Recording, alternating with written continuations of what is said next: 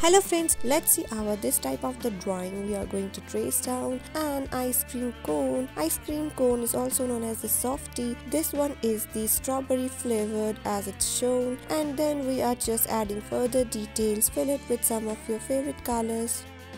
Difficulty level for this one is somewhat medium and this type of the drawing is best suitable for the kids between the age group of 10 to 11. You can just pause the video so that you don't get confused at any particular step and trace it down. See how beautifully we have traced this cute little bag and now we are filling it with some of the colors. I am here using the orange one. You can use any other color. It all depends on what color you like. See how we have created this type type of the drawing, just pause the video and have a clearer look. Don't forget to add the details it's time to trace down a mini girl. She's having some different and cute hairstyle. She has kept the two plates as a parent and see how we are just trying to draw these plates in these steps. You can just pause the video so that you can carefully trace it down. This type of the drawing is best suitable for the kids between the age group of 9 to 11. Fill it with some of the favorite colors. We are using the brown one for filling her here. You can use the black as well. So then you just have how to add the more colors like the cream one for the skin. You can use the pencil colors. I am using the sketch ones. You can also use the watercolors. This type of the painting is very less time consuming and give it a try. See we are filling the yellow color for its frock. You can use any other color. Don't forget to add the tint around the cheek area at the end.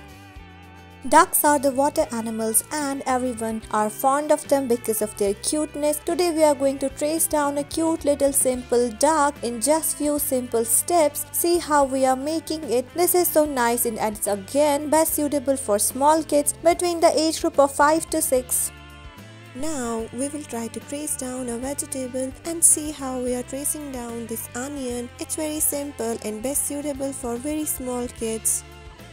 Our next drawing is very simple and easy. See how we are going to trace down this kitty cat in just few easy and simple steps. Fill it with some of your favorite color. I will be using the grey color. I have created the grey and whitish coated fur cat. You can create any of your favorite patterns you wish to draw.